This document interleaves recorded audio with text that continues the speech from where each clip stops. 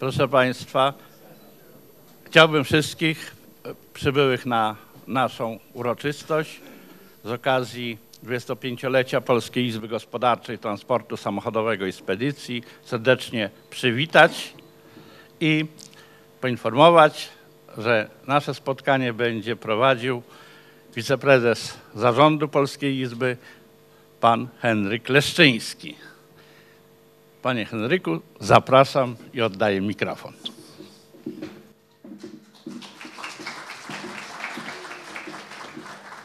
Dzień dobry, dziękuję bardzo. Dzień dobry Państwu.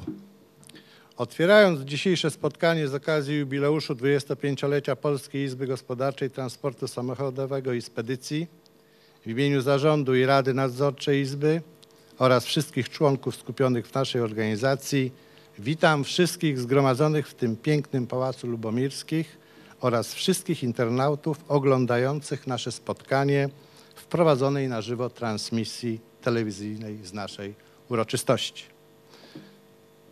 Serdecznie witam pana Grzegorza Woźniaka, posła na Sejm Rzeczypospolitej Polskiej, przewodniczącego podkomisji stałej do spraw transportu drogowego, drogownictwa i lotnictwa w Sejmowej Komisji Infrastruktury. Pan poseł jeszcze nie dotarł, ale pewnie za moment będzie. Serdecznie witam pana Alwina Gajadura, głównego inspektora transportu drogowego. Serdecznie witam panie ministrze. Panią Urszulę Nowinowską, dyrektora gabinetu głównego inspektora od 1 lipca 2019 roku, prezydenta Eurocontrol RUT.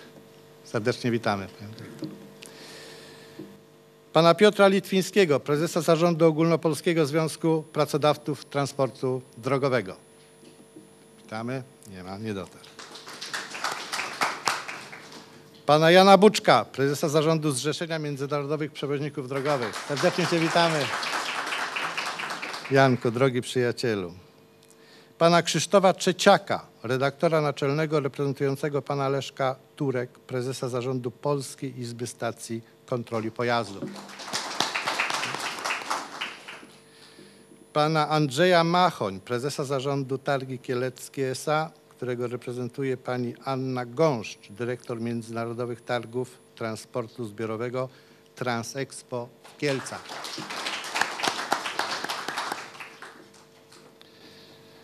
Pana Mirosława Walickiego, starostem Garwolińskiego. Pana Czesława Piele, byłego członka zarządu Polskiej Izby Gospodarczej Transportu Samochodowego i Spedycji. Gorąco witam także partnerów dzisiejszego jubileuszu. Sopockie Towarzystwo Ubezpieczeń Ergohestia S.A. z Sopotu reprezentowane przez panią dyrektor Danutę Sikorską. Serdecznie Cię witamy Danusiu. Targi Kieleckie S.A. reprezentowane przez prezesa zarządu pana Andrzeja Machoń. Pani dyrektor. Kolmek spółka ZOO z Rudna reprezentowane przez dyrektora wsparcia sprzedaży pana Lecha Przybyłowskiego. Witamy Cię Leszku. Kancelarię Transportową Koben spółka ZOO z Bielska Białej reprezentowaną przez przedstawiciela handlowego pana Mariusza Ramus. Serdecznie witamy. Szanowni Państwo, teraz zapraszam na prezentację informacji multimedialnej o działalności Polskiej Izby Gospo- Gospodarczej Transportu Samochodowego. W 1989 roku dzięki Solidarności Polacy zmienili swój kraj. Sterowany centralnie socjalizm upadł. Bardzo szybko następowały przemiany polityczne i społeczne. Zmieniła się też organizacja komunikacji samochodowej. Z czterech po roku było już 176 PKS-ów, które ze sobą konkurowały. Gospodarką zaczął rządzić rynek, a Sejm rozpoczął tworzenie nowego prawa. Wobec powyższego utworzyliśmy tą izbę po to, żeby nasi przedstawiciele mogli uczestniczyć przy wypracowywaniu ostatecznego tekstu ustaw, które regulowały e, segment transportowy, a generalnie chodziło o to, by pomóc naszym członkom w realizacji ich e, podstawowego zadania, jakim jest przewóz osób i to w warunkach oczekiwanych przez tych pasażerów. 9 marca 1990 2004 roku. Podejmujemy decyzję o tym, ażeby taką organizację stworzyć. Na pierwszym tym spotkaniu wstępuje do niej 150 przedsiębiorstw i jej rejestracja ma miejsce 17 czerwca 1994 roku. Natychmiast Izba przystępuje już do konkretnych działań związanych z rozmowami z Ministerstwem Transportu o kierunku rozwoju publicznej komunikacji pasażerskiej. Izba bierze udział w posiedzeniach komisji sejmowych i podkomisji średnio 40 razy w roku. Samodzielne przedsiębiorstwa PKS były za słabe na to, żeby podjąć zadania inwestycyjne. Większość z nich nie była w stanie tego wykonać. Pomysł powstał w Polskiej Izbie Transportu. Należy go wiązać z osobą prezesa Krzysztofa Gutowskiego. Dawał możliwość odnowienia już y, wyeksploatowanego taboru we wszystkich 174 jednostkach PKS. Kupiono wtedy 2711 autobusów. Izba przeprowadzała postępowania przetargowe, wybierała dostawców, negocjowała warunki dostaw oraz ceny. Zawierała z nimi umowę generalną. Dofinansowanie z budżetu państwa średnio wyniosło 25%, ale w niektórych przypadkach dochodziło nawet do 40%. Coraz więcej przewoźników wchodziło na rynek. Każdy wjeżdżał, gdzie najbardziej pasuje. I stąd minister transportu, widząc ten problem, powierzył nam funkcję koordynatora rozkładów jazdy. Koordynacja polegała na wzajemnym uzgodnieniu z przewoźnikami y, relacji, czyli miejsc y, przystanków, godzin odjazdów i częstotliwości kursowania autobusów. W ostatnich 20 latach zmieniały się PKS-y, zmieniał się też ich właściciel, tak zwany organ założycielski. Najpierw był nim minister transportu, a od 1998 roku wojewodowie. Kolejna zmiana następowała w wyniku przekształcenia przedsiębiorstwa państwowego w jednoosobową spółkę Skarbu Państwa. Wówczas organem założycielskim stawał się minister właściwy dla Skarbu Państwa. Natomiast w przedsiębiorstwach prywatyzowanych znikał organ założycielski jako podmiot kierujący i nadzorujący pracą danego PKS. Ja pamiętam taką rozmowę w Ministerstwie Komunikacji, gdzie pracownik na koniec rozmowy powiedział mi, że z Warszawy żar nie widać. Od tego czasu już wiedziałem, że musimy sami y, szukać sobie ścieżek prywatyzacji. Prywatyzacja przede wszystkim była potrzebna po to, żeby y, zmienić właściciela, bo y, Skarb Państwa nie jest dobrym właścicielem, a potem prywatyzacja zmienia mentalność i załogi, i zarządu. Ostatnią zmianą była komunalizacja części PKS-u. Organem założycielskim stawały się organy danej jednostki samorządu terytorialnego. Transport drogowy nie da się zamknąć jedynie w granicach kraju. Współpraca międzynarodowa jest koniecznością. Na początku współpracowaliśmy z tymi krajami, do których była wykonywana e, komunikacja regularna przez naszych członków. Najważniejszymi naszymi partnerami są organizacje w Niemczech, e, jak Stowarzyszenie VDV czy BDO, organizacje na Litwie, Łotwie, Estonii, Ukrainie, Rosji. W roku 2007 zorganizowaliśmy specjalną konferencję, w której brał udział kilkanaście organizacji, żeby wypracować stanowisko wobec przyszłego rozporządzenia 1370. Wiele spraw, które żeśmy tam ustalili, zostało potem zapisanych w ostatecznym tekście. Przystąpienie Polski do Unii Europejskiej to rozwój, ale też ciągłe dostosowywanie przepisów do nowych standardów. Przewoźnicy musieli zdobyć tak zwane certyfikaty kompetencji zawodowych. Izba w tym zakresie przeszkoliła około 2800 pracowników tych przedsiębiorstw. Przeszkoliliśmy około 20 tysięcy kierowców w zakresie kursów dokształcających. Do dzisiaj są tak zwane szkolenia okresowe i w tym zakresie Izba również przeszkoliła do tej pory około 10 tysięcy kierowców. Z funduszy europejskich na szkolenia Izba zdobyła prawie 4 miliony złotych, a ponad 630 tysięcy pozyskała z innych funduszy na wsparcie swojej działalności. Organizacja o zasięgu krajowym no zawsze ma to siłę przebicia, dotrze na szczebel rządowy, do parlamentu, do samorządu, w szczególności do marszałków. Izba współpracuje z blisko 200 powiatami i gminami, a także z producentami pojazdów, części zamiennych, instytucji finansowych. W ostatnich pięciu latach Izba zajmowała się szczególnie działaniami zmierzającymi do wdrożenia ustawy o publicznym transporcie zbiorowym. Jednak brak zainteresowania samorządów terytorialnych wszystkich szczebli przejęciem roli organizatora publicznego transportu drogowego osób spowodował, że niemal połowa naszych członków zrezygnowała z prowadzenia działalności w zakresie przewozu osób. Natomiast pozostali znacznie ograniczyli komunikację. Ostatnio Izba aktywnie uczestniczyła w opracowaniu nowej ustawy o Funduszu Rozwoju Przewozów Autobusowych. Mamy nadzieję, że ustanowiony fundusz pomocy dla samorządów spowoduje, że transport publiczny nie będzie zanikał. Izba prowadzi szkolenia dla samorządów terytorialnych oraz przewoźników w zakresie możliwości skorzystania ze środków tego funduszu. Życzymy wszystkim naszym członkom rozwoju i owocnej działalności gospodarczej.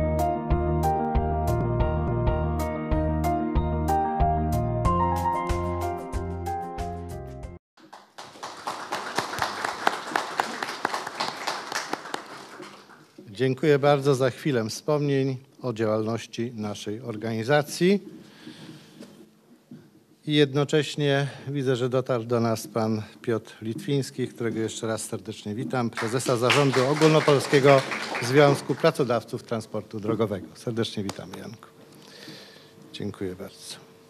Teraz zapraszam Państwa na dyskusję panelową poświęconą transportowi publicznemu. Panel poprowadzi kolega Zdzisław Szczerbaciuk, prezes Zarządu Polskiej Izby Gospodarczej Transportu Samochodowego i Spedycji. Zapraszam panie prezesie, do panelu zapraszam pana Mirosława Walickiego, starostem, starostem powiatu garwolińskiego. Nie ma. Pana Krzysztofa Częstochowskiego, prezesa PKS Gorzów Wielkopolski Spółka ZOO. Zapraszam cię Krzysiu. Pana Franciszka Kowaluka, prezesa PKS w Łosicach Spółka ZOO. Zapraszam Franku. Pana Marcina Chlewickiego, menedżera do spraw prawnych Flixbus Polska Spółka ZOO. I w tym układzie pana Jacka Semczuka, prezesa PKS w Garwolinie S.A. Dziękuję bardzo. Bardzo proszę panie prezesie, udzielam panu głosu. Dziękuję bardzo. Proszę Państwa, no, z takiej okazji postanowiliśmy przeprowadzić, jakby powiedzieć, dyskusję poświęconą pewnym problemom transportu publicznego. Tak jak z filmików było widać, proszę Państwa, transport publiczny, w szczególności poza obszarami aglomeracji miejskich, no, przeżywa trudny okres. W ostatnim okresie została uchwalona ustawa o Funduszu Rozwoju Przewozów Autobusowych w przewozach o charakterze użyteczności publicznej. Ta ustawa, proszę Państwa, no, przewiduje finansowanie albo współfinansowanie przez budżet państwa tych przewozów przez okres na- 12 lat.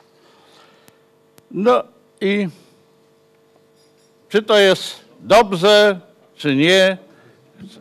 Dyskusje trwają, proszę Państwa.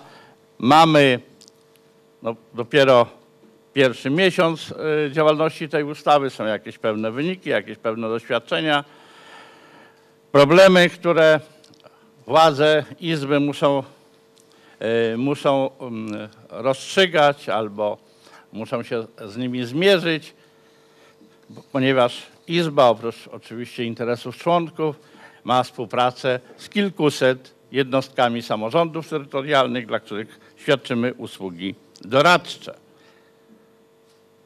No i z tej okazji postanowiliśmy przeprowadzić tą debatę. No, szkoda, że nie ma przedstawicieli samorządu. Wysłaliśmy do samorządów, no ale przedstawiciele samorządów terytorialnych, w szczególności ci, co wdrażali,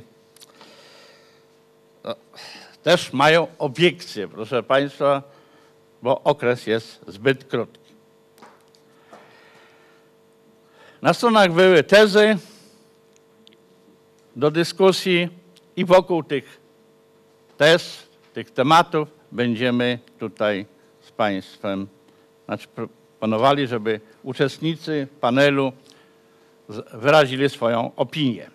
Proszę Państwa, no, najważniejsza rzecz to jak zwykle są pieniądze, bo to wszystkie rozwiązania prawne mogą być takie, inne, ale proszę Państwa, no, przynajmniej w, tra- w transporcie publicznym, tak jak w całej Europie, proszę Państwa, nie ma kraju, w którym transport publiczny drogowy byłby niefinansowany przez jednostki samorządu terytorialnego w różnych krajach różnego szczebla. Dlatego, proszę Państwa, chciałbym pierwsze pytanie, żeby do Panów. Kto powinien organizować i finansować te przewozy? Na początku zajmijmy się szczeblem tym najniższym, gminnym i powiatowym oraz czy Panowie uważają, że te środki, które są obecnie zaangażowane w, e, w tym funduszu w wysokości przewidzianej ustawą są korzystne, niekorzystne, czy spowodują oczekiwane założenia, które sobie rząd postawił. No to tak od prawej strony kolega Częstochowski. No nie jest to takie Będziemy proste. Trzy, e, e, trzy minuty na. Trzy minuty tylko, tak? Tak. E, Proszę Państwa, tak sobie w kuluarach rozmawialiśmy, że jeszcze zupełnie niedawno ktokolwiek by nie chciał, to nie mógł powiedzieć o wykluczeniu komunikacyjnym, bo takiego pojęcia w ogóle nie było. Autobusy, jak widać, było ich dużo, jeździły, dowoziły do pracy i zaczęły się procesy, powiedziałbym, raz decentralizacji w porządku. E, Wielu z nas uciekło spod jurysdykcji Skarbu Państwa, bo tak jak kolega powiedział, Skarb Państwa jest e, nie najlepszym gospodarzem w tak małych przedsiębiorstwach jak nasze. Spowodowało to daleko idącą decentralizację i nie, gdyby nie Izba, to prawdopodobnie dzisiaj rozwiązania prawne byłyby takie, że nie spotykalibyśmy się w tym gronie i PK, z PKS-ów by nawet ten symbol kierownicy na żółtym tle nie został. Jesteśmy w takim stanie, jakim jesteśmy. Ustawa o rozwoju przewozów autobusowych jest e, właściwym pierwszym krokiem chyba we właściwym kierunku można dyskutować tak, jak tu prezes podjął. Po pierwsze, czy jest wystarczająca kwota? Na dzisiaj widać, że do końca kwartału jest ona w pełni wystarczająca. Jest kwestia tylko tego, jakie będą rozliczenia z tym związane. Czy będą bardzo takie szczegółowe, kazuistyczne, jak jest to zawarte e, w przepisach, to wtedy samorządy się z tym nie pozbierają. My, jako przewoźnicy, będziemy musieli tworzyć bardzo szczegółową, analityczną księgowość, żeby się rozliczyć z tych pieniążków, a zainteresowanie jak na razie jest na poziomie 300 milionów, a 27 milionów e, do wykorzystania. Jest kwestia taka, czy w trakcie roku budżetowego można to robić, czy nie? Wydaje mi się, że to jest chyba główną słabością, że samorządy się tym nie zainteresowały. Ja myślę, że na poziomie gmin, gdzie e, ustawa oświatowa zobowiązywała e, samorządowców do stworzenia komunikacji, nazwijmy ją szkolnej, wielu z nas na porozumieniu z gminami zrobiło to w trybie otwartej komunikacji autobusowej. I sieć tam tych połączeń jest y, w ocenie samorządowców wystarczająca. Więc na tym szczeblu mielibyśmy problem zamknięty. I powstaje powiat. Powiat ma ciągle mało pieniędzy, bo do szpitala nie ma pieniędzy, na e, szkoły średnie nie ma pieniędzy, a komunikacja jest problemem, który sam się rozwiązał, bo każdy pokupował jakiś samochód i jeździ. I myślę, że na tym etapie najbardziej chyba pożądanym, żeby organizatorem e, sieci transportu publicznego był powiat, y, jest tu pewna trudność. E, W województwie lubuskim, chyba tylko z którego pochodzę, jeden powiat wykazał zainteresowanie w zakresie wykorzystania z tego funduszu. Nie wykazał takiego zainteresowania e, z y, Urząd Marszałkowski, czytaj e, połączenia o charakterze wojewódzkim. Na razie czekają na nowe rozwiązania budżetowe. Trzy minuty upływają. E, powiem tak, jeżeli samorządowcy nie zrozumieją, że będą oceniani również w tym trybie przez wyborców, to zdaje się, że tego tematu nie podejmą, a gwarantuję, że będą. Dziękuję. A kolega Franciszek jest jednocześnie prezesem spółki, którą kontroluje jednostka samorządu. To ma inne spojrzenie niż kolega Krzysztof, który jest właś, właścicielem firmy. Nie, nie, No, współwłaścicielem. No. To Czyli kolego, mogę, tak, panie prezesie? E, Proszę państwa, ja jestem prezesem e, PKS-u w Łosicach. Jest to taka najmniejsza miejscowość w Polsce, w której jeszcze PKS istnieje. No nie ma PKS-u w miejscowości, która ma poniżej 20 tysięcy mieszkańców. Łosice mają e, e, niewiele ponad 7 tysięcy mieszkańców. Ma, posiadamy 50 autobusów. Wykonujemy bardzo dużo tej komunikacji regularnej, jak na taki mały powiat jak Łosicki, bo tej komunikacji wykonujemy prawie 2 miliony kilometrów rocznie. I wiadomo, że w Łosicach jest na pewno mniejsze zapełnienie jak w Gorzowie czy w miastach wojewódzkich ale pomimo to wokół nas PKS-y padły, takie jak miasto wojewódzkie Biała Podlaska, czy jak Państwo wiecie, likwidują całkowicie działalność e, nawet właściciele prywatni, tacy potentaci jak Arriva czy Mobilis i między innymi, jak wiecie Państwo, została zlikwidowana działalność już praktycznie całkowicie w Ostrołęce czy w Mińsku Mazowieckim. Proszę Państwa, e, e, ustawa e, o Funduszu Rozwoju Przewozów Autobusowych jest nadzieją na reaktywację tych połączeń na terenie gmin czy powiatów. I u nas na przykład w powiecie łosickim samorządy specjalnie nie mają problemów, nie mają problemów też z PKS-em, bo wykonujemy tą komunikację, która wynika z zadań własnych samorządów. Beneficjentem środków z ustawy o Funduszu Rozwoju Przewozów Autobusowych są organizatorzy, są samorządy. No szkoda, że dzisiaj pomimo to, że zaprosiliśmy do tego panelu e, samorządy, że nie ma, mogliby parę praktycznych słów powiedzieć. Ja powiem od strony tego, że jestem w powiecie łosickim operatorem od 9 września z tych środków jeszcze w, w, tym, w tym roku, niecałe 4 miesiące, a i powiedzieć w imieniu organizatora, którym jest powiat łosicki, pomimo to, że nie jest większościowym udziałowcem w, na, w mojej spółce PKS Łosice, ale e, starosta zdecydował się być tym organizatorem przynajmniej na ten okres i przystąpiliśmy do tego programu e, e, z Funduszu Rozwoju Przewozów Autobusowych w bieżącym roku. Jak na Łosicę jest to dosyć duży program, bo uruchomiliśmy 23 nowe linie, ponad 60 kursów.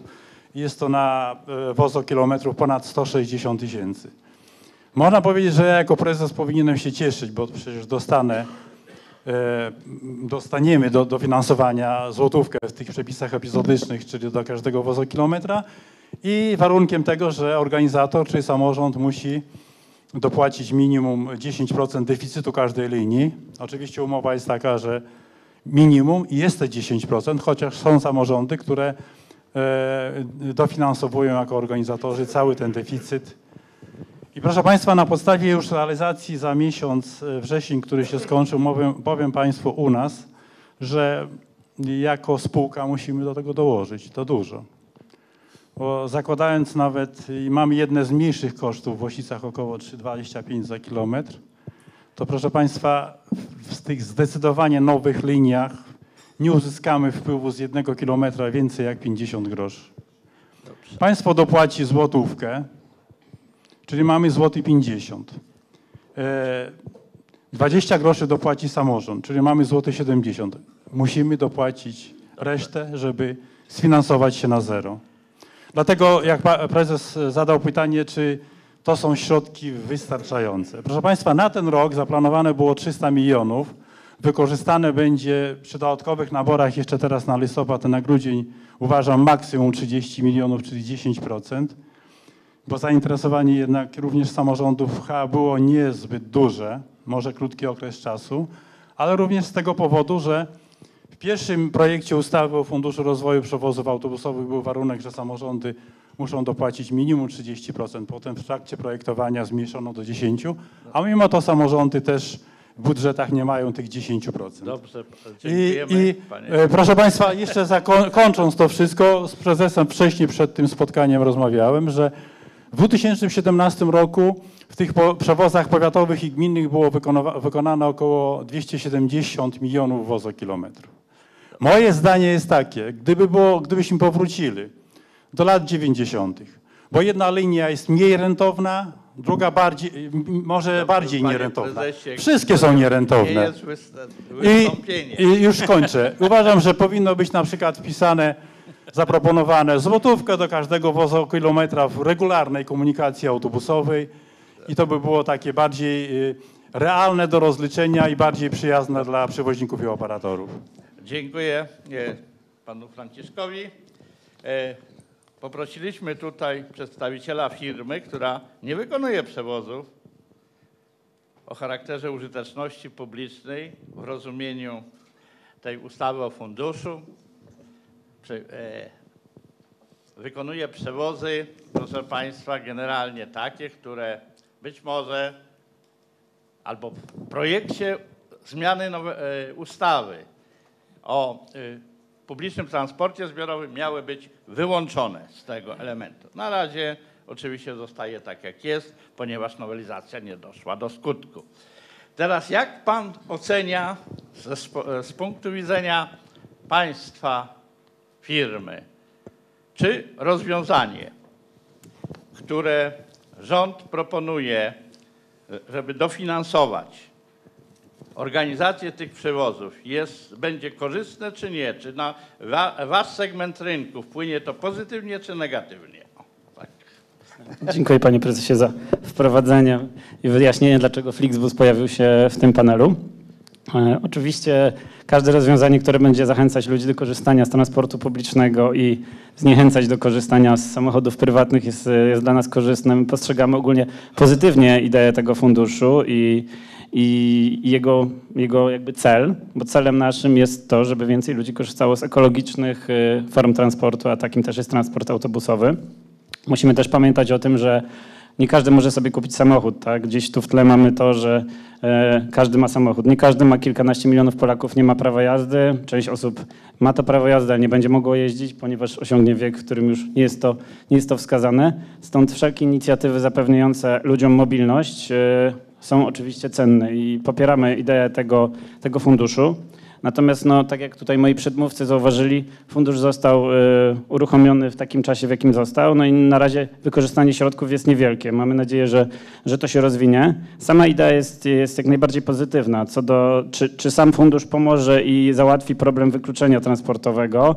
Ciężko tutaj y, mówić, że sam fundusz będzie, będzie narzędziem, ponieważ tutaj, jak, jak słusznie wskazano, jest duża rola samorządów. No, mamy, mamy problem z mentalnością wielu samorządów. Pytanie, jak do nich dotrzeć? y, Czy edukować, czy w jakiś sposób nakazywać organizację transportu? Moim zdaniem to nie do końca się sprawdzi, ponieważ ciężko, żebyśmy odgórnie zapisali, nie wiem, wymaganą liczbę połączeń. Co do stawki dofinansowania, tutaj też, jeżeli chodzi o tę stawkę, naszym zdaniem i jakby tutaj też konsultowałem się z osobami, które, które analizują ten problem y, i naukowcami, no, roz- rozwiązaniem byłoby być może zróżnicowanie tej stawki, bo jednak inną sytuację, inna dopłata jest konieczna w Bieszczadach, a inna na przykład w gminie Jabłonna pod Warszawą, więc, więc czy, czy w Łosicach właśnie. Więc to też jest do, do rozważenia. Natomiast tak naprawdę fundusz zaczął działać. Wydaje mi się, że potrzebna będzie tu jakaś, jakaś ewaluacja. Natomiast oczywiście e, możliwość dojazdu autobusem do miasta powiatowego, tudzież wojewódzkiego i przesiadki na nasz autobus jest jak najbardziej cenna i pozytywna i tak naprawdę jest to standard w krajach zachodnich, więc, więc oczywiście idea tego funduszu jest, jest, jest, jest pozytywna. Tu jeszcze padło też pytanie, kto powinien być organizatorem tych przewozów. No I to rzeczywiście jest takie dosyć, dosyć trudne, trudne zagadnienie. Z jednej strony mamy województwo, które już organizuje kolej, ma kadry, które znają się na tym, na, na rozkładach, lepiej lub gorzej, ale jest to jakoś realizowane. Województwo zajmuje się też dopłatami do biletów. No, z drugiej strony mamy powiat, który ma szkoły średnie, no i gminę, która zapewnia dowóz do, do szkół podstawowych, no i jeszcze, jeszcze do niedawna gimnazjów. E, I to jest rzeczywiście, rzeczywiście du- duże, duże, du, duże zagadnienie i, i dosyć skomplikowana kwestia. Ja skłaniałbym się ku temu, żeby jednak województwo miało tutaj dużą odpowiedzialność, natomiast ciężko też byłoby wymagać od województwa żeby miało na przykład wiedzę o wszelkich trasach gminnych, więc być może województwo powinno być organizatorem, może wzorem, e, wzorem trochę ZTM-u warszawskiego, który też organizuje linie lokalne na mocy porozumień, tak? I to są linie, które, e, które tutaj e, służą mieszkańcom miejscowości podwarszawskich. Więc być może to jest jakieś rozwiązanie. Tu jeszcze były dwa zagadnienia odnośnie integracji, integracji taryfowej i wymagań w zakresie jakości. Myślę, że to są kwestie, które są oczywiście ważne a i na integrację rozkładową i taryfową pewnie kiedyś przyjdzie czas, natomiast no, w tej sytuacji, którą mamy, czyli no, gigantycznego spadku liczby, liczby przewozów, upadłości wielu przewoźników, no i tego, że naprawdę spora liczba Polaków jest pozbawiona dostępu do transportu publicznego, no to tak naprawdę powinniśmy się skupić na y, odbudowywaniu i jakiejś takiej totalnym t- działaniu na rzecz tego, żeby chociaż te kilka połączeń dziennie do każdej miejscowości zapewnić, jeśli to jest możliwe. Dziękuję bardzo. Dziękuję. Proszę Państwa, no wprawdzie nie ma samorządowców, bo chciałem tutaj, przewidziałem postawienie kontrowersyjnego, kontrowersyjnej tez. Proszę Państwa, czy, znaczy, jak wiemy, Unia Europejska poszła w kierunku, że za publiczny transport zbiorowy odpowiada samorząd, generalnie. We, we wszystkich krajach nigdzie państwo nie przejęło żadnych obowiązków w zakresie organizacji ani finansowania komunikacji publicznej poza, poza pomocą w finansowaniu tak zwanego infrastruktury transportowej w pewnym zakresie oraz pomocą w nabywaniu taboru. To są takie kierunki. Natomiast no, nikt nie poszedł w tym kierunku, jak polski rząd, dotyczący sfinansowania albo współfinansowania kosztów. Tutaj pan powiedział, żeby, że powinno się zróżnicować. Oczywiście powinno, to jest racja, tylko, proszę państwa, najpierw trzeba byłoby mieć e, materiały, informacje.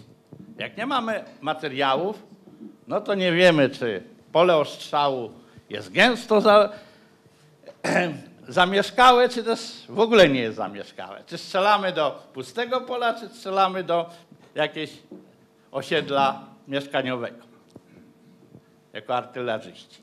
Tak samo i oczywiście w tym przypadku. I moje, moje pytanie jest takie, czy w ogóle rząd zrobił słusznie, że po pierwsze przejął, a w zasadzie zdjął z jednostek samorządu terytorialnego, które przez niemal 10 lat nie podjęły żadnej decyzji. Generalnie, ja proszę Państwa, jak 1% podjął, to nie, to nie jest e, sprawa. Ogólniam, proszę Państwa. Nie będę wymieniał tych, którzy wyłamali się z tego, z tej ogólnej zasady. Proszę Państwa, czyli nie podjęło.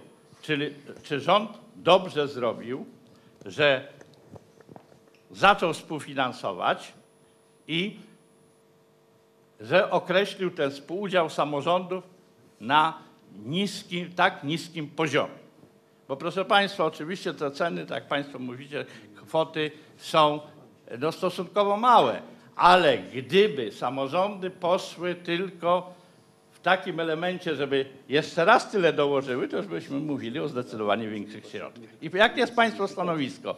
Czy samorządy, ale króciutko po dwie minuty, panowie, e, czy, samorządy, czy, e, czy ustawa w takim kształcie spowoduje to, że, ten, e, że będzie rozszerzenie organizacji publicznego transportu zbiorowego, czy też będzie to problem.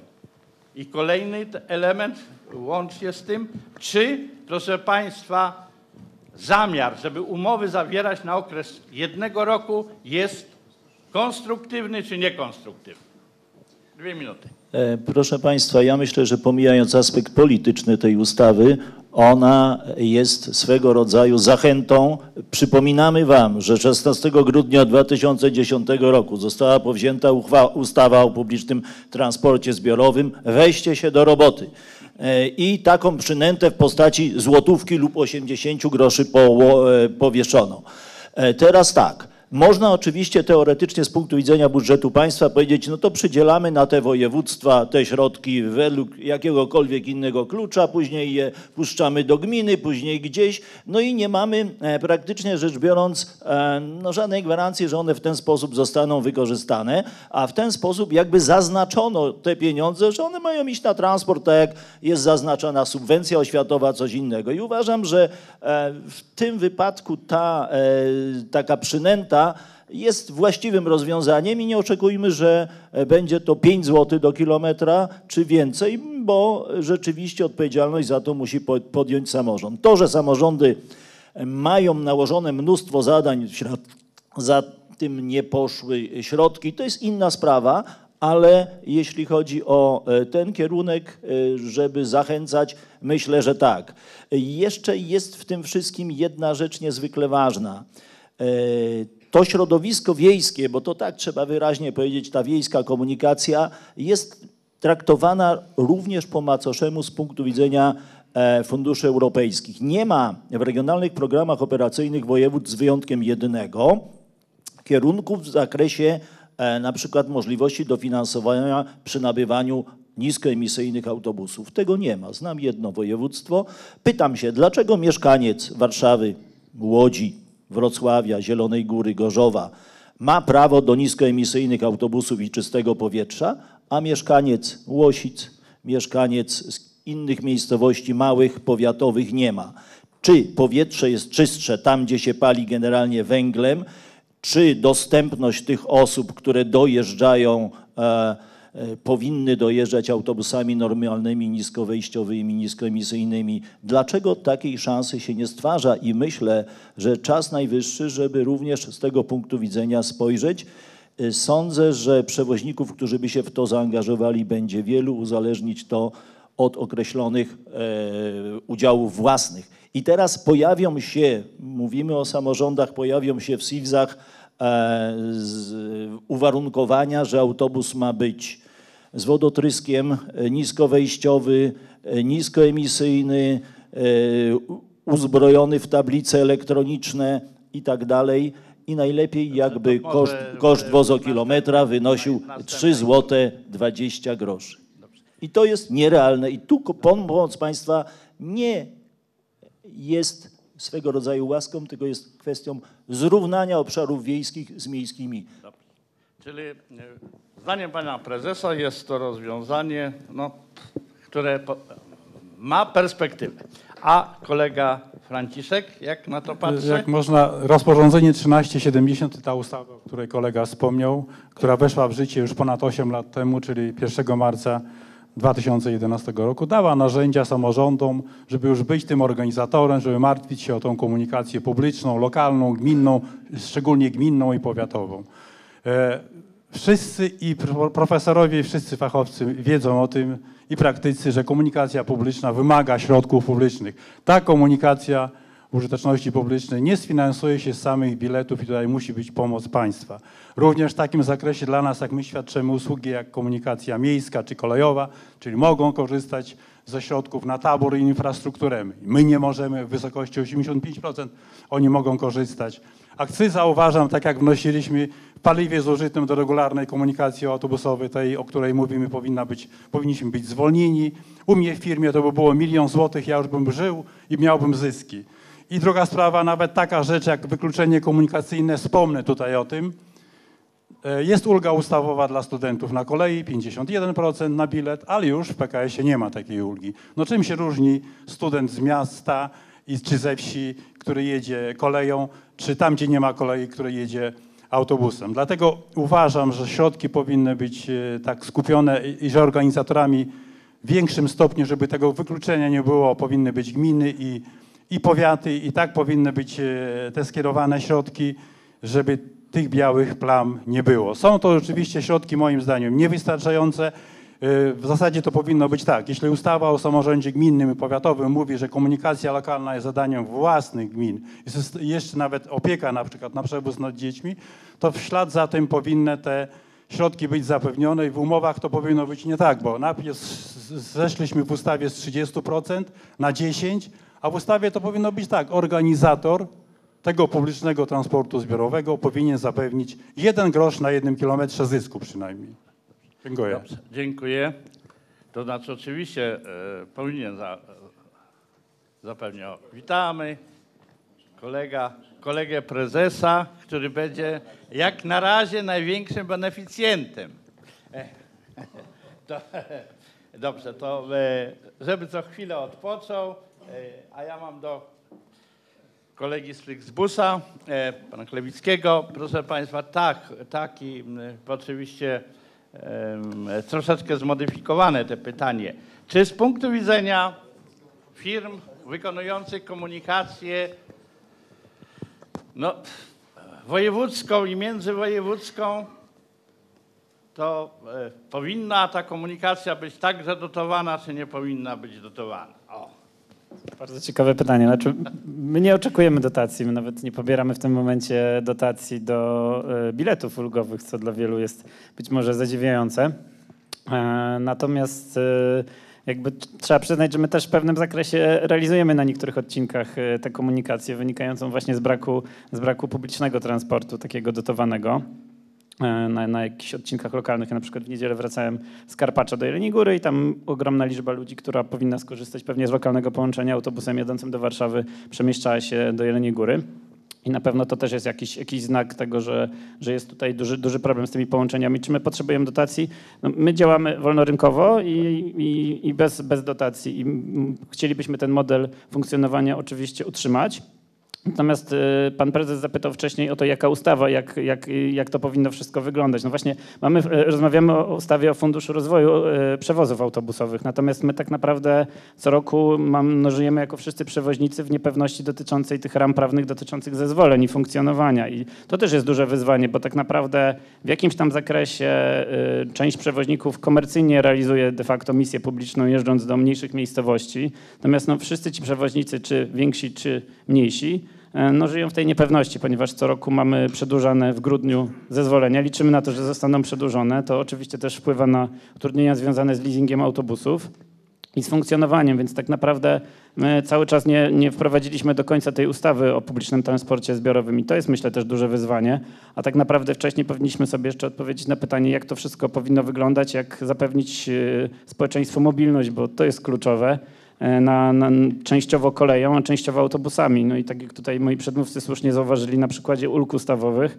no, pasażer, który mieszka w mieściu, mieście, gdzie, w miejscowości, gdzie dociera kolej, ma prawo do ulg, ma prawo do dotowanego transportu, do dotowanego taboru kolejowego, natomiast pasza, pasażer, taki sam obywatel polski, który płaci też w tym kraju podatki, no nie ma, nie ma takiego prawa, tak? Jeździ czasem autobus, czasem nie jeździ.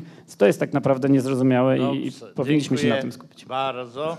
Widzę, że wszyscy od drażliwych tematów wolą się e, znaczy, nie określać. Dobrze. Proszę Państwa, ponieważ jest kolega prezes z Garwolina, pan Se- Semczuk, proszę Państwa, to damy mu tu 6 minut, żeby, żeby się wypowiedział na następującej kwestii. Po pierwsze, jak pan prezes ocenia w ogóle tą ustawę? Czy ona jest pomocna, niepomocna? Z pana punktu widzenia, z widzenia e, przedsiębiorstwa, działającego też na troszeczkę większym e, terenie jak powiat, e, powiat łosicki, ale też miasto nie ma 20 tysięcy, tylko z tego co ja pamiętam to około 15 chyba Garwolin mniej więcej. To jest jedna sprawa. I po drugie, czy uważa pan e, prezes, że e, zape- znaczy określone w ustawie wysokość, jakby powiedzieć, obowiązku finansowania przez jednostkę samorządu terytorialnego jest wystarczająca, czy nie jest wystarczająca? O, takie dwie kwestie. Y, Proszę Państwa, jeżeli chodzi o pierwsze, oczywiście to wsparcie, ta, ta złotówka jest nie tylko złotówką dofinansowania do słabo organizowanych przewozów, ale w przypadku Garwoliny, Garwolina i powiatu garwolińskiego była e, pomocna w zmobilizowaniu e, wójtów, gmin do zajęcia się problemem e, komunikacji zbiorowej, nie tylko dowozu dzieci do szkół, ale także komunikacji zbiorowej na danym terenie. I to uważam, że to chyba było nawet ważniejsze od tej złotówki. Jeżeli chodzi o te zmiany, które udało się zrobić w Garwolinie, e, to przez przypadek wymieniliśmy e, 43 linie. To są linie nowe, modyfikowane na łączną ilość przejechanych kilometrów ponad 100 tysięcy miesięcznie, czyli połowę naszych przewozów. To właściwie tak się złożyło, ponieważ od niedawna jestem prezesem PKS-u Garwolin i no, przewozy były w słabej kondycji, więc musieliśmy je i tak zmodyfikować. Mam nadzieję, już pierwsze wyniki sprzedaży we wrześniu w październiku biletów miesięcznych pokazują, że nawet niektóre te linie, no pewnie, pewnie zysk będzie, strata będzie mniejsza niż złotówka, ale to nie ma znaczenia, czy my zł- złotówkę weźmiemy z rynku, czy e, z tak zwanego funduszu, który jest. E, Jak, je- jeżeli chodzi o finansowe, no, zobaczymy po pierwszych miesiącach, czy te nasze bardzo głębokie modyfikacje e, poprawią kondycję przedsiębiorstwa i na ile, szczególnie tych słabych linii. Mieliśmy trzy gminy, w których były tak zwane przewozy zamknięte. W jednym przypadku gmina sama organizowała przewozy, e, w dwóch innych gminach były e, organizowane dowoz dzieci do szkół w tak zwanym trybie zamkniętym. Jedna z gmin się otworzyła, że tak powiem kolokwialnie, a druga z gmin ogłosiła przetarg do 20 grudnia. Mam nadzieję, że w przyszłym roku będą otwarte i trzecia też się zastanawia. No oczywiście w przypadku przewozów otwartych te przychody są znacznie większe z tytułu ulgi ustawowej 49%. Więc wydaje mi się, że najistotniejsze jest to, że w gminach powiatu garwolińskiego zaczęło się mówić o, e, o partycypowaniu w kosztach, jeżeli chodzi o przewozy regularne e, na, e, na danym terenie właśnie przez gminy, albo przynajmniej zajęcie się tym, bo w niektórych przypadkach no, była ta świadomość bardzo nikła i niewielka. Y, Jeszcze pan prezes mnie... Dziękuję bardzo. Dziękuję. Nie ma co ciągnąć, proszę Państwa. Teraz, jakby powiedzieć, kwestia podsumowująca tę e, ustawę o funduszu. Proszę Państwa, krótko, po półtora minuty. E, proszę? Dobrze, dobrze, niech sobie... To tak się... Siadaj tu, Jasiu, i zaraz się nie poproszę o, o 30 mi- sekund. No, proszę Państwa, ale poważnie. E, Proszę Państwa, jest taka sytuacja, że no, tryb, jakby powiedzieć, nadzwyczajny będzie możliwy jeszcze w zasadzie w roku 2020. Natomiast potem wszyscy muszą się przygotować i przede wszystkim ustawodawca określić, czy tą ustawę o publicznym transporcie zmienia, czy nie zmienia. Jest jedna rzecz e, bardzo pozytywna. Ja odnoszę, bo wszyscy twierdzili przez lat dziewięć, proszę Państwa, że ustawy o publicznym transporcie zbiorowym nie ma. Zaczynając od ministrów, kończąc na e, wójcie. Wszyscy mówili, że ustawa nie obowiązuje. Podobno.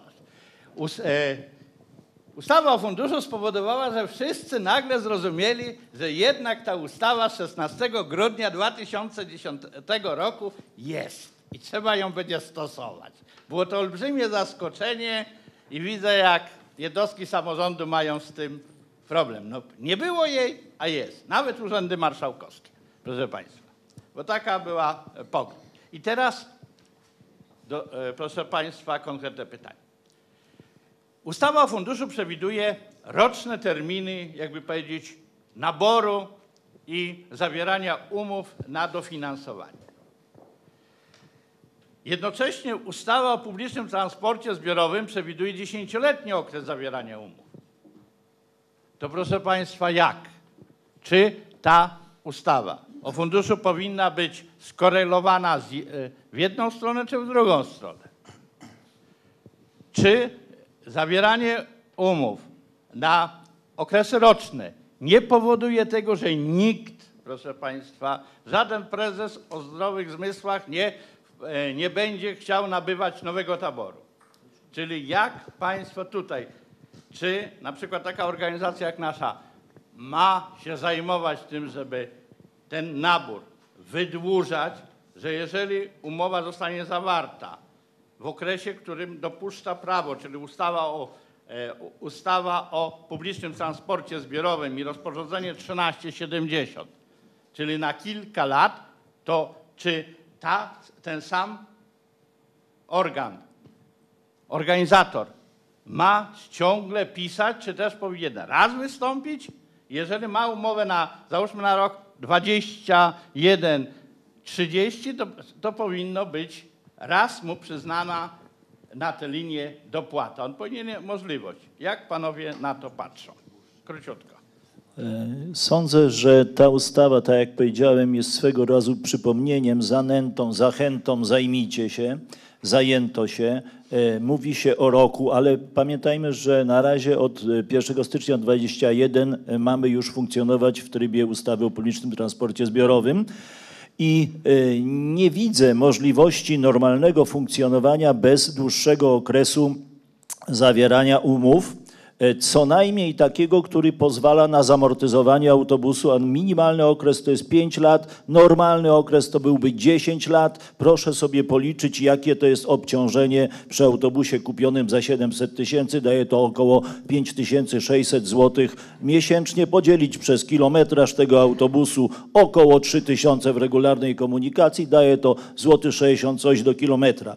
I teraz taka obawa, e, która z tym jest związana, więc e, na pewno dłuższe okresy, na pewno e, wyłanianie e, operatora w jakimś logicznym trybie SIWZ-u, nie oczekiwanie tylko, że oprze się on na kosztach historycznych, w których nie ma na przykład amortyzacji, wyjdzie mu 3 zł 50 coś, no i się okaże, że będzie e, powiatowa komunikacja dziadowska, w której e, nie będzie zabezpieczone bezpieczeństwo, nie będzie zrównanie e, do ewentualnych ofert w komunikacji miejskiej.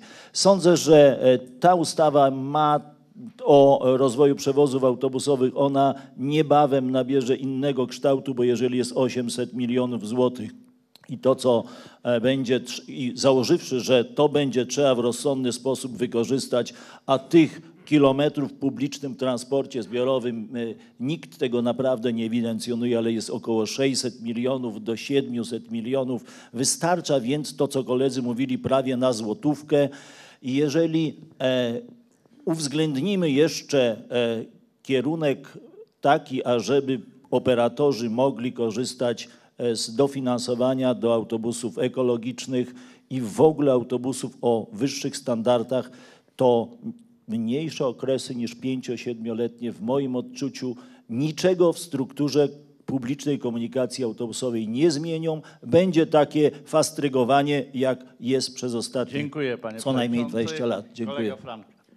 E, Na pewno ta ustawa jest dobra i dla nas pomocna. Dziękujemy za nią jako przewoźnicy, operatorzy. Dziękujemy również panu prezesowi, bo jest współautorem tej ustawy. Oczywiście trzeba ją jeszcze troszeczkę udoskonalić.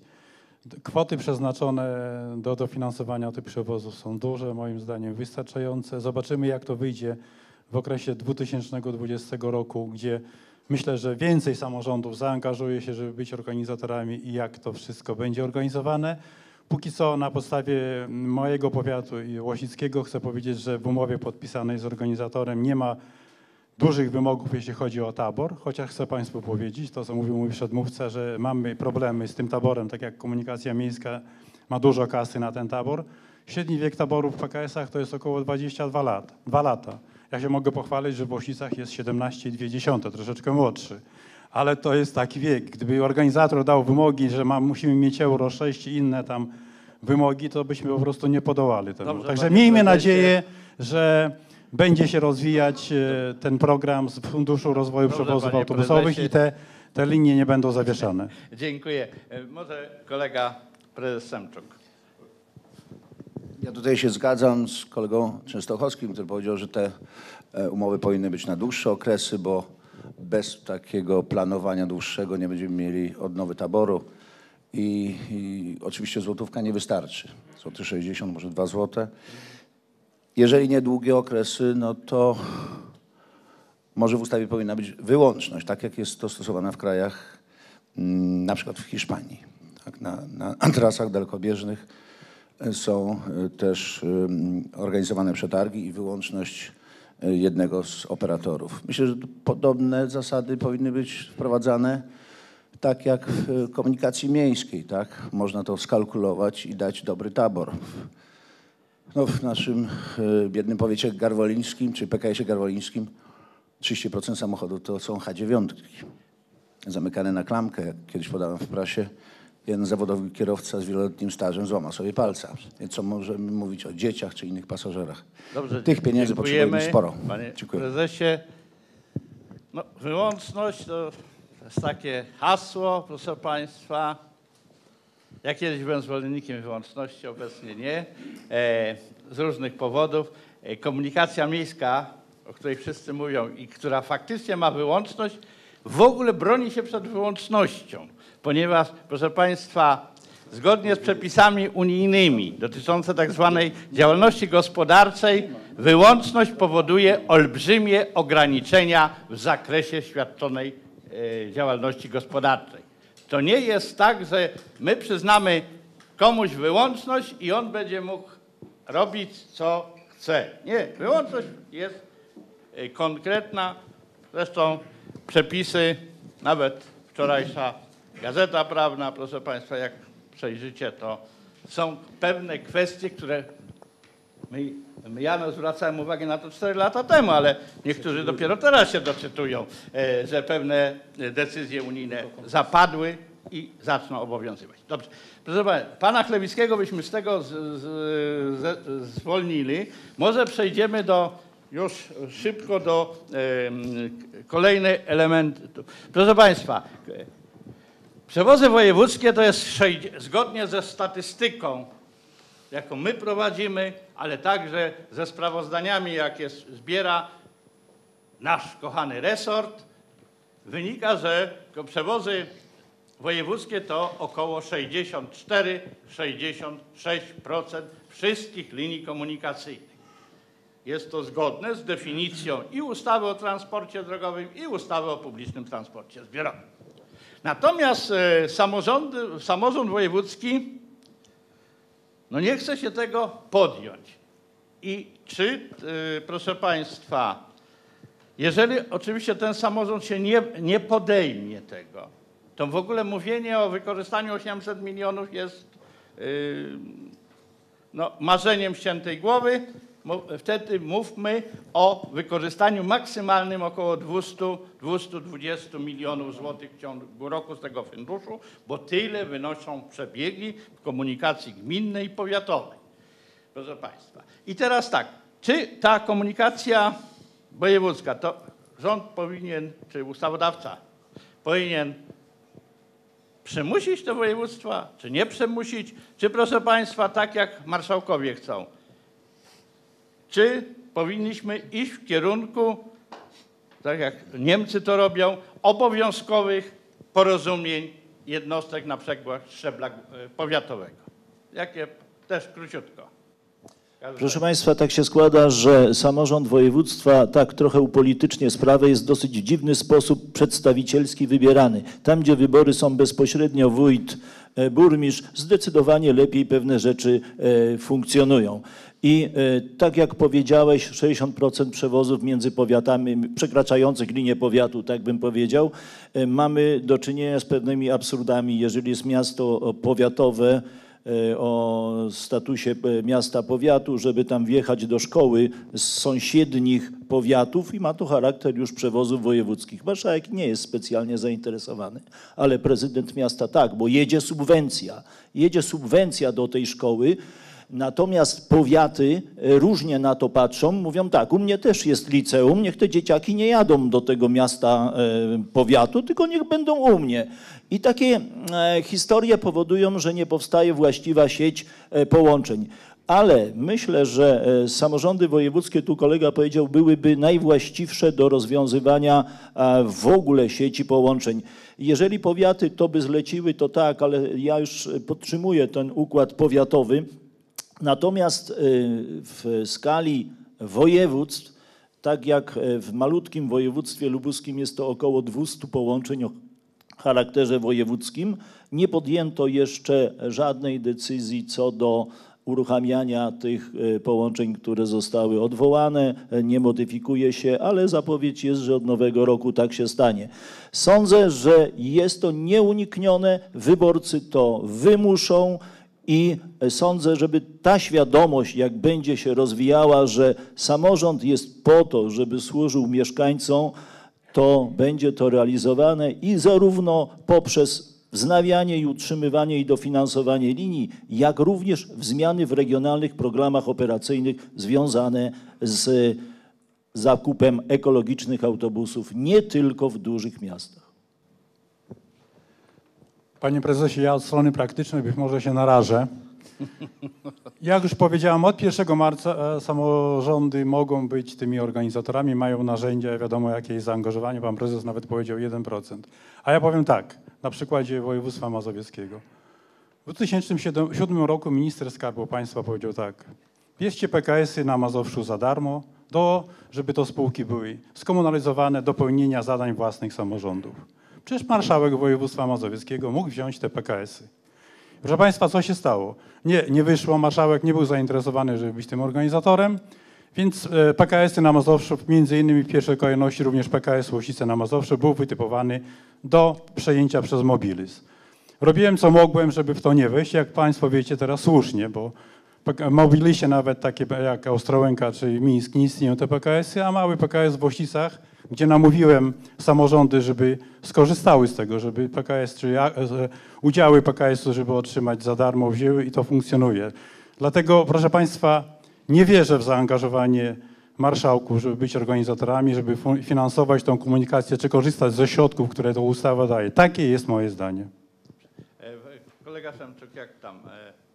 E, Komunikacja wojewódzka jakoś ma tam u Was sens, czy będziecie się łączyć z powiatem Przyznam szczerze- obowiązkowo? Przyznam szczerze, że y, ja nie miałem w przedsiębiorstwie czasu, ani środków, ani sił, żeby zająć się czymś więcej niż tylko powiat. Przyznam szczerze, że y, właśnie pan, y, tak jak pan wcześniej powiedział, pan prezes, no, mieliśmy spotkania z wójtami i skupiliśmy się tylko i wyłącznie na powiecie.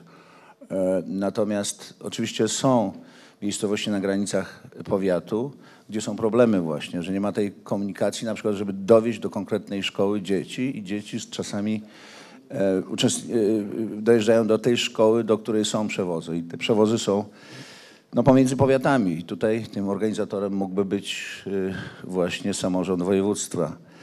Ale w moim przypadku no, no, chciałoby się, żeby Urząd Marszałkowski brał w tym udział. Tak? No, Dziękuję. Mieliśmy E. Teraz zacznę od pana Chlewickiego, bo ostatni element, żebyśmy w godzinie się zmieścili, tak jak zakładamy, proszę państwa. Jak powinna funkcjonować komunikacja ta na własne ryzyko przedsiębiorców? Bo, bo w Polsce, jakby powiedzieć, są dwie tendencje. Jedna tendencja jest taka, że ta komunikacja o charakterze, znaczy organizowana na własne ryzyko podmiotów gospodarczych jest popierana i jest tendencja taka, że wszystko powinno być przewozami o charakterze użyteczności publicznej, tak jak w niektórych krajach e, Unii Europejskiej jest to zrobione, nawet no, koło naszych e, e, południowych sąsiadów, którzy wypracowali model bardziej zbliżony, że e, komunikacja komercyjna się nie sprawdziła. To jakie jest Państwa oczekiwanie? Czy ta komunikacja powinna się rozwijać wszędzie? Czy powinna mieć wyznaczone jakieś obszary? Jak to powinno zrobić? Czy na przykład tak jak była propozycja w nowelizacji ustawy o publicznym transporcie zbiorowym? Z czerwca czy z maja, już nie pamiętam, która tam. Proszę panie. Może skoro jestem pierwszy. E, To tak, znaczy jeżeli chodzi o tutaj o te, o te rozwiązania, które są w innych państwach, no i, i jakby jaki powinien być model w Polsce, no wydaje mi się, że najlepszym rozwiązaniem jest e, taki model, gdzie jeżeli przewoźnik może działać komercyjnie i nie potrzebuje dotacji, czyli jest możliwość funkcjonowania bez dotacji, no powinno być to możliwe w sytuacjach, kiedy te połączenia są deficytowe, czyli zwykle to będą pewnie połączenia lokalne lub regionalne, no to powinien być system dotowania, tak? I wydaje mi się, że takie rozwiązanie było planowane w 2010 roku w ustawie naszej o publicznym transporcie zbiorowym, która y, wszystkie połączenia poza międzywojewódzkimi wpisywała w jakiś tam kanon regulacji czy połączeń o charakterze użyteczności publicznej, a te międzywojewódzkie zostawiała wolnemu rynkowi. No, ta regulacja teoretycznie cały czas jest, ale no, jakby co roku jest, jest odkładana. Jeżeli chodzi o rozwiązania w innych państwach, to tak naprawdę wydaje mi się, że e, tak regulacje dotyczące dalekobieżnych połączeń to są tylko w Hiszpanii. Tak naprawdę w innych państwach te, te rynki uwolniono. Tam ten system, e, system, e, w Hiszpanii funkcjonuje ten system przetargów. I wydaje mi się, że to też jest znaczące, tak? że w innych państwach to funkcjonuje i wydaje mi się, że, że to jest wzór do, do naśladowania dla nas.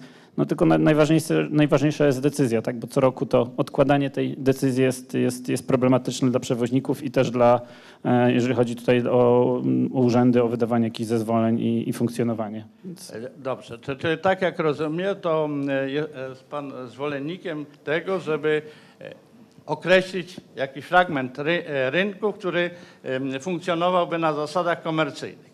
No ale mam takie pytanie, bo tutaj zawsze e, do nas potem docierają, no a jak zrobić z integracją biletową, jeżeli będziemy mieli podmioty publiczne i podmioty niepubliczne? Na poziomie regionalnym i lokalnym, no to to jest możliwość tworzenia przez organizatora transportu. Natomiast jeżeli chodzi o przewozy komercyjne, no to jest tak naprawdę do, do rozważenia. Są takie możliwości informatyczne, że, że, że dałoby się to zrobić. Pytanie, czy tego potrzebujemy, bo tak jak mamy przewoźników typu Ryanairy, czy, czy, czy takich dalekobieżnych działających powiedzmy w podobnym modelu do nas, no to tam żadnej integracji nie ma, tak? No jeszcze mamy tak naprawdę kolej, więc możemy iść w kierunku Holandii, gdzie, gdzie mamy jeden wspólny bilet na cały, na cały, na cały kraj. No, to jest do rozważenia, natomiast na tym etapie, na którym jesteśmy, to musimy się zdecydować na, na, na, na model funkcjonowania, a Dziękuję. później E, rozliczenia. Może koledzy po minucie w tej sprawie komunikacji e, tej dalekobieżnej.